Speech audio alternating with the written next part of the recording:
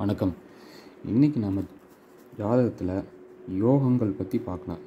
யோகம் அப்படின்னா combination of planets அதாவது ஒன்றுக்கும் மேற் மேற்பட்ட கிரகங்கள் சேர்ந்தால் அந்த ஜாதகருக்கு ஒரு பலத்தை கொடுக்கும்.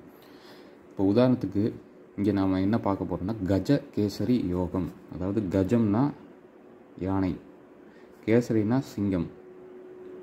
அதாவது யானையும் சிங்கமும் சேர்ந்தால் என்ன பலம் இருக்குமோ அந்த பலத்தை ஜாதகருக்கு கொடுக்கும். இதுதான் வந்து கஜ கேசரி யோகம்.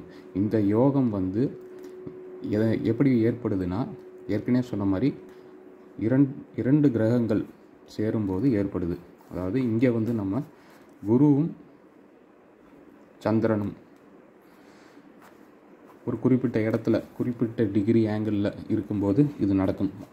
பூ அதாவது கேந்திர ஸ்தானம்ங்கிறது ஏற்கனவே நாம் பார்த்தது ஒன்று நாலு ஏழு பத்து.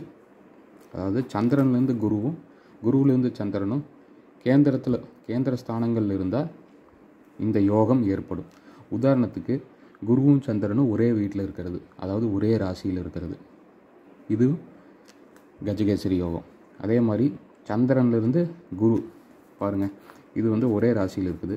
இது ஒன்று ரெண்டு மூணு நாலு. சந்திரன் குரு நாலாம் கேந்திரத்தில் இருக்குது இதுவும் கஜகேசரி யோகம். அதே மாதிரி இது சாரி இது வந்து ஏழு.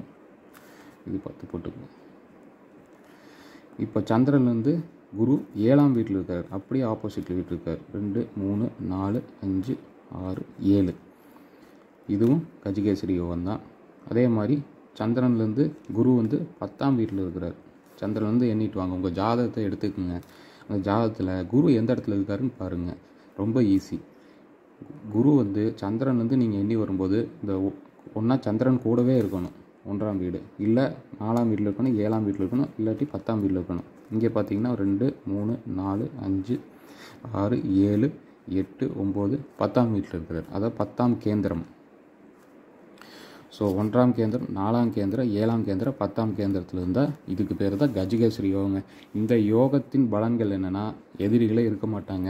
இவங்களை வந்து யார் வந்து சீண்டுனாலும் பார்க்குறக்கு சுமாராக இருந்தாலும் யார் வந்து சீண்டுனாலும் ரொம்ப துன்பத்துக்கு உள்ளாவாங்க. எதிரி நாசம். அதாவது சத்ரு நாசம். எதிரிகள் மட்டும் இல்லைங்க. வேறு எந்த வகையான வாழ்க்கையில் இவங்களுக்கு என்ன பிரச்சனைகள் வந்தாலும் அத்தனையும் துவம்சமாகும். இந்த கஜேஸ்வரி யோகா இவங்களை எப்படியோ தூக்கி உட்கார உட்கார வச்சிடும் அப்படியே நிற்பாங்க எதுவுமே அசர மாட்டாங்க. அதுதான் வந்து இந்த கஜகேஸ்வரி யோகம். இதில் இந்த கஜகேஸ்வரி யோகத்தில் இதை வந்து குருச்சந்திர யோகம்னு சொல்லுவாங்க. ஆனால் இது ரெண்டுக்கும் கொஞ்சம் ஸ்லைட் வித்தியாசம் இருக்குது. சின்ன வேறுபாடு இருக்குது குருச்சந்திர யோகத்துக்கும் கஜகேசரி யோகத்துக்கும். குருச்சந்திர யோகம்னா இந்த இந்த காம்பினேஷன் இருக்குங்களா குருவும் சந்திரனும் ஒரே வீட்டில் உட்காந்துருக்கிறது இதுதான் குருச்சந்திர யோகம். அதே மாதிரி குருவும் சந்திரனும் இங்கே பாருங்கள் நம்ம ஏற்கனவே சொல்லியிருக்கோம். எல்லா கிரகத்துக்கும் ஏழாம் பார்வை இருக்குது இப்போ சந்திரன் குருவை பார்க்குறாரு ஏழாம் பார்வையில். குரு சந்திரனை ஏழாம் பார்வையில் பார்க்குறாரு. மியூச்சுவல் ஆஸ்பெக்ட் இந்த ஏழாம் பார்வை ரெண்டு பேரும் பார்த்துக்கிறாங்க.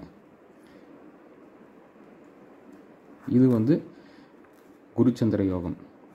குருச்சந்திர யோகம் ரெண்டு விதமாக ஃபார்ம் ஆகுது. ஒன்று ரெண்டு பேரும் ஒரே வீட்டில் உட்காந்துக்கிறது இன்னொன்று வந்து ஏழாம் பார்வையில் ரெண்டு பேரும் ஆப்போசிட் வீட்டில் உட்காந்து ஏழாம் பார்வையில் தன்னை தானே ரெண்டு பேரும் ரெண்டு பேர்த்தையும் பார்த்துக்குவாங்க.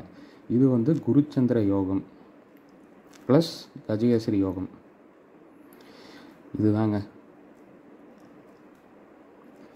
இப்போது இந்த யோகம் வந்து பொதுவாக ஒரு எழுபத்தஞ்சி சதவீதம் ஜாதகத்தில் இருக்கும். கண்டிப்பாக இருக்கும். இல்லாமல் இருக்காது. என்னென்னா இந்த யோகா பலமாக இருக்கணும். அதாவது எப்படி ஒரு கிரகம் பலம் அடையுதுன்னா கிரகம் வந்து உச்ச வீட்டில் இருக்கணும். இங்கே ரிஷபத்தில் சந்திரன் இருக்காங்க சந்திரன் உச்சம் ஆயிட்டாரு. கூட குரு இருக்கிறார். அப்போ இந்த குரு இந்த கஜகேசரி யோகா வந்து இந்த குரு சந்திர யோகா வந்து ரொம்ப பலமாக இருக்குது அதே மாதிரி இப்போது சந்திரனும் குருவும் இங்கே இருந்தாங்கன்னு வைங்க. கடகத்தில் இருந்தான்னு வைங்க. நம்ம ஏற்கனவே பார்த்துருக்கோம் கடகம் வந்து சந்திரனோட வீடு. சொந்த வீட்டில் இருந்தால் ஒரு கிரகம் தன்னுடைய சொந்த வீட்டில் இருந்தால் பலமாக இருக்கும். அதே மாதிரி கடகராசி குருவோட உச்ச வீடு. இதுதான் வந்து அதிக பலம்.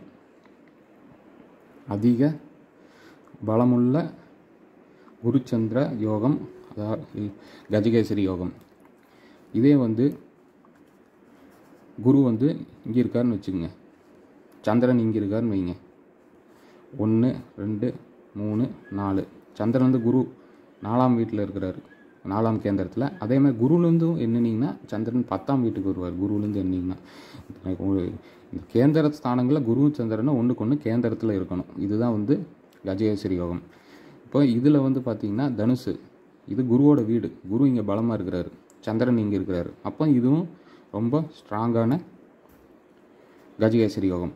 அதே மாதிரி குரு மீனத்தில் இருக்க பிறந்தவங்க குரு தனுசில் இருக்க பிறந்தவங்க குரு கடகத்தில் இருக்க பிறந்தவங்கள குரு பயங்கர ஸ்ட்ராங்காக இருக்குங்காட்டி இதுவும் நல்ல பலமுள்ள கஜகேசரி யோகம். இவங்க பக்கத்துலலாம் யாரும் போகவே முடியாது. இவங்கள சீண்டுனா பிரச்சனை தான் வரும். இவங்க ஒன்றும் ப பிரச்சனை பண்ண மாட்டாங்க. இவங்களாம் சாதுவாக தான் இருப்பாங்க. எதிரிகளே நான் தன்னை போல் பிரச்சனைக்கு உள்ளாகி காணாமல் போயிடுவாங்க. அது எப்பேற்பட்ட எதிரியாக இருந்தாலும் சரி. அதாவது ஒர்க் பிளேஸில் குடைச்சல் கொடுக்குறவங்க இது சும்மா சீன்றவங்க அவங்க எல்லாமே இருக்க மாட்டாங்க. இந்த ஜாதகர்கள்லாம் கொஞ்சம் ரொம்ப பலமாக இருப்பாங்க. இவங்களுக்கு வந்து கடவுளே காப்பாற்றுவார் ஒரு அமானுஷ்யமான ஜாதகம்னு வைங்களேன் இதே வந்து குரு வீக்காக இருந்தாருன்னு வைங்க இந்த பலம் எடுபடாது. இல்லை குரு வந்து உங்களுக்கு வக்கரகதியில் வக் வக்கரத்தில் இருந்தாருன்னு வைங்க வக்ரி அப்படிம்பாங்க.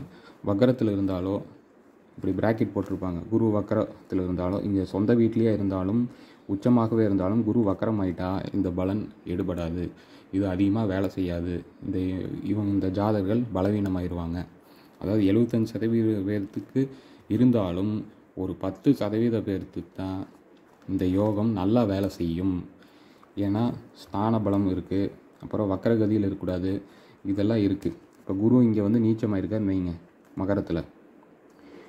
அதே சந்திரன் வந்து இங்கே மேஷத்தில் இருக்கான்னு வைங்க. பத்தாம் கேந்திரமா? குருவுக்கு சந்திரன் நாலு சந்திரன் குரு பத்தில் இருக்காரா? இது கச்சிகேசரி யோகம் தான். ஆனால் குரு இங்கே என்ன இருக்காரு நீச்சமானங்காட்டி குரு வந்து பலம் இல்லாமல் இருக்கிறாரு. இப்படி இருக்கிற கஜகேசரி யோகம் வந்து வேலை செய்யாது. இந்த கஜகேசரி கஜகேசரி யோகம் வேலை செய்யறதுக்கு தசாபுத்தி காலங்களில் கிடையாது. இது இருந்தாவே வேலை செய்யும். ஆட்டோமேட்டிக்காக இந்த காம்பினேஷன் இந்த யோகம்லாம் வந்து ஆட்டோமேட்டிக்காக மே மேக்ஸிமம் வேலை செய்யும். யோகம் வந்து கிட்டத்தட்ட எட்நூறு வகையான யோகம் இருக்குது சுமாராக சுமார் எட்நூறு வகையான காம்பினேஷன்ஸ் இருக்குது ஒவ்வொரு பிளானட்டும் எப்படி ரெண்டு கெமிக்கல் மிக்ஸ் பண்ணால் ஒரு பொருள் கிடைக்குதோ அதே மாதிரி ரெண்டு கிரகங்களோ ரெண்டுக்கு மேற்பட்ட கிரகங்களோ சேர்ந்ததுன்னா அது ஒரு வி- விதமான பலத்தை கொடுக்கும் ஜாதகருக்கு. அது மாதிரி எட்நூறு வகையான யோகங்கள் சுமாராக சொல்லப்படுது. இதில் வந்து ஒரு முக்கியமான யோகங்கள்னு பார்த்தீங்கன்னா பிவி ராமன் அப்படிங்கிறவர் முந்நூறு யோகத்தை பற்றி ஒரு புத்தகம் போட்டிருக்கிறார். இந்த முந்நூறு யோகங்கள் இருக்கும். இதுலேயே வந்து நீங்கள் இன்னுமே கழிச்சு வந்தீங்கன்னா ஒரு ஐம்பது யோகம் தான் நம்ம வந்து மன ஒரு ஜோதிடர் ஐம்பது யோகத்துக்கு மேலே மனப்பாடமாக வைக்க முடியாது. ரொம்ப கஷ்டம்.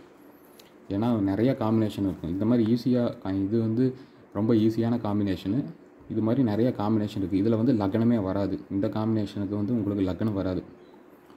சந்திரன் இருக்கிறங்காட்டி சந்திர லக்னத்தை நம்ம வச்சுக்கலாம். சந்திரன் வந்து ஒன்று நாலு ஏழு பத்து அப்படி வச்சுக்கலாமே தவிர இதில் லக்னமே வராது. இந்த யோகா யார் வேணாலும் அவங்க ஜாதகத்தில் பார்த்து தெரிஞ்சுக்கலாம். நம்ம யூடியூப் சேனலை சப்ஸ்கிரைப் பண்ணுங்கள் ஷேர் பண்ணுங்கள் ஜோதிட ஆர்வலர் ஜோதிட கற்றுக்கிறவங்களுக்கு ஃபார்வர்ட் பண்ணுங்கள் நன்றி.